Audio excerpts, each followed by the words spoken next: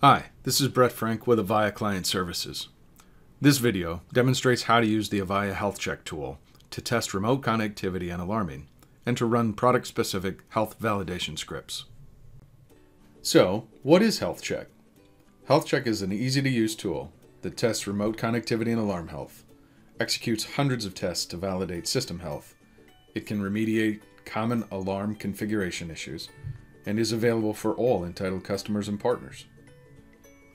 There are several ways to access the Health Check tool.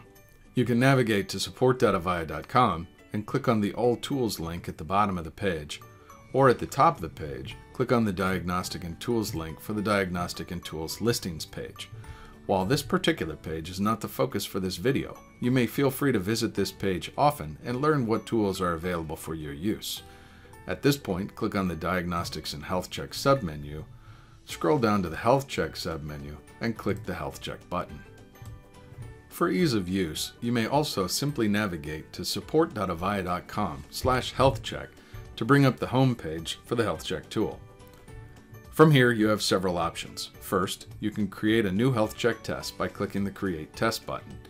If you've already scheduled any tests to run in the future, the Manage Test Schedules option will take you to the Scheduler page. To view already completed tests, you have several options. You can view by site, view by SEID, and view your own tests. We will cover these options in greater detail later in the video. If you have any feedback on the usage of the tool, including enhancements and usability requests, click the Send Feedback button. Below the buttons, you will see a sortable table of products that HealthCheck supports, as well as an indication of what specific type of tests are supported by the individual products, such as connectivity, alarming, or health check testing. Finally, the Using Health Check tool link will take you to the Health Check User's Guide for detailed instructions on Health Check usage. Now that you have navigated to the Health Check homepage, we will first start by creating a test. Click the Create Test button. Upon selecting Create Test, and depending upon your login type, you may see different options. An Avaya associate will see this screen and can enter a specific sold to, SEID, or upload a CSV file of SEIDs for the assets you would like to be tested. Note that there is a current limit of 60 assets that can be added to a single test via CSV. If you are an Avaya business partner or end customer, with your login, you will see this screen and you can enter or select a specific sold to or upload a CSV of SEIDs for the assets you would like tested. Again, note that there is a current limit of 60 assets that can be added to a single CSV test. After clicking Create Test, on the next page presented, as an Avaya associate, I will enter a specific location ID, or sold to, and then click Look Up Now.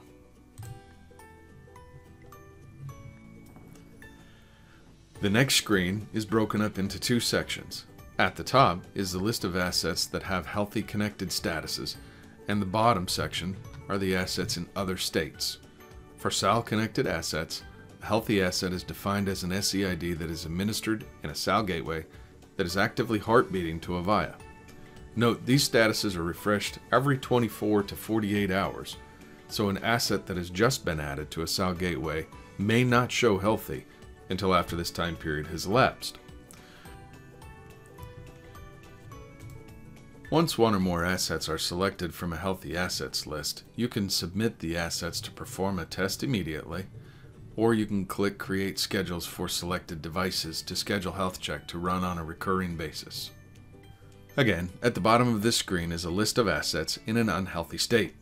The different states include refused, the customer or partner has indicated that they do not want remote connectivity to that asset. Not entitled, the asset does not have an active support agreement, thus not eligible for health check. Unhealthy, in the case of a SAL connected asset, this asset is entitled, but is not administered behind any healthy SAL gateways. Or ignore, this asset is not eligible for health check for a different reason. Selecting the hyperlinked error code will provide you additional details on the Connect Health, as well as instructions on how to change the status of an asset. Note that On many of these unhealthy statuses, health check can still be attempted by selecting the asset and clicking Create Test. The test, however, as indicated in this callout, is very likely to fail unless a recent change has just been made, such as the asset has recently been added to a SAL gateway, but the reporting has not refreshed yet.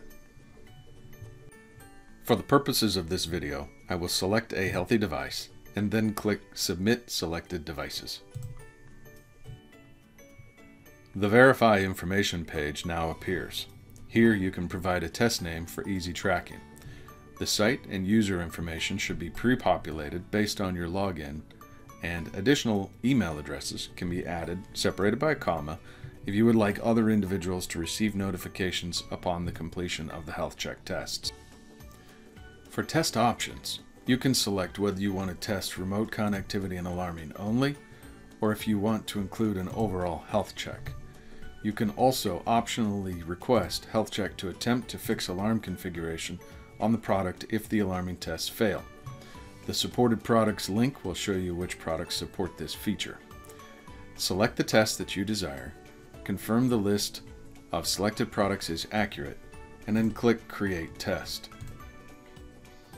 After submitting the test request, you will receive a Request Successful confirmation. Once the tests have completed, you will receive an email notification of the results with a link to view the details. Depending upon the volume of requests, it may take one to two hours to complete all of the tests. Let's return to the homepage of HealthCheck to view some completed tests. Click the home link at the top right hand corner. As previously mentioned, to view already completed tests, you can click the View by Site button if you want to see completed tests by sold to or site ID. This is also referred to as the site dashboard. You can also view a specific asset's completed test by clicking View by SEID. Finally, if you want to view tests that you've set up yourself, click the View My Test button. Let's view the site dashboard of the site I used previously by clicking View by Site. After clicking the View by Site option, you will be prompted to specify the sold to or location ID. Specify the location ID and click Search. The site dashboard will now be displayed with several sections. The first section is a health check recommendations banner. This is a rotating banner providing recommendations based on what health check knows about the site. The more health check is run on the site's assets, the better qualified the recommendations are. Clicking on the banner will open a new window providing additional detail about that recommendation. The second section contains the health check key performance indicators or KPIs.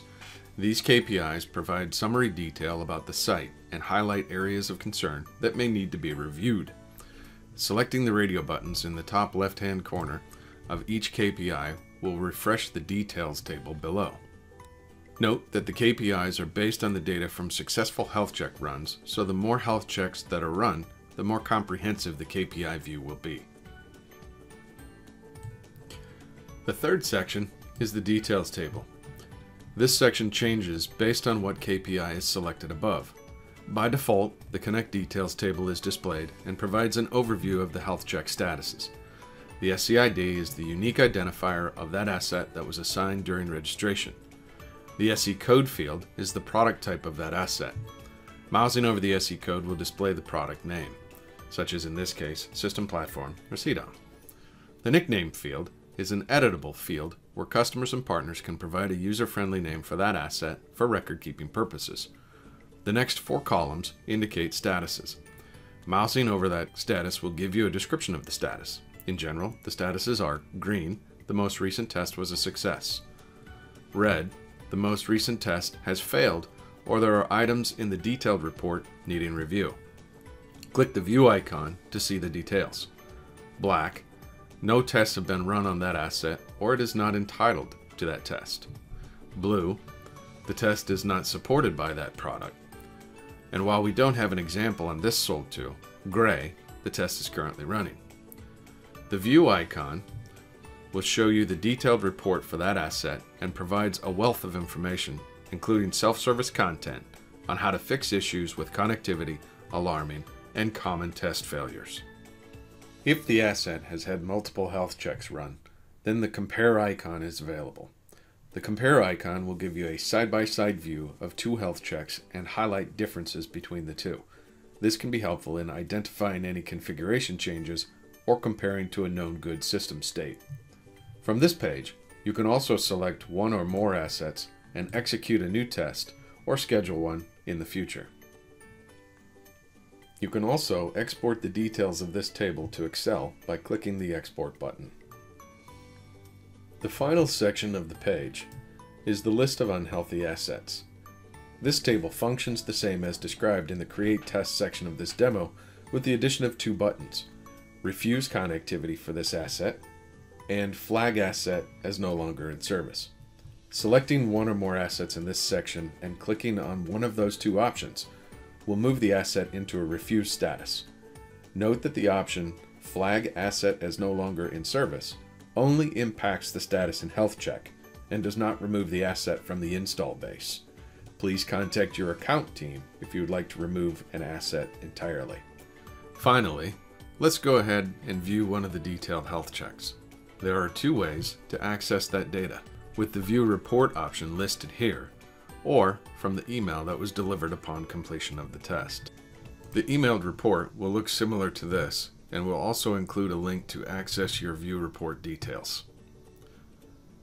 The Health Check detailed report shows details on connectivity, alarming, product software version, associated SAL gateways and versions, as well as the detailed health check tests that failed. Clicking the link to follow the knowledge base articles will assist in resolving issues. Scrolling to the bottom of this report reveals a Save Report button that will create a PDF of the report for download. Thank you for watching. This completes the overview of the Health Check tool for creating tests and viewing results. If you would like more information on managing Health Check test schedules, please search the Avaya Mentor YouTube video channel for the partner video to this overview video named Health Check Managing Test Schedules.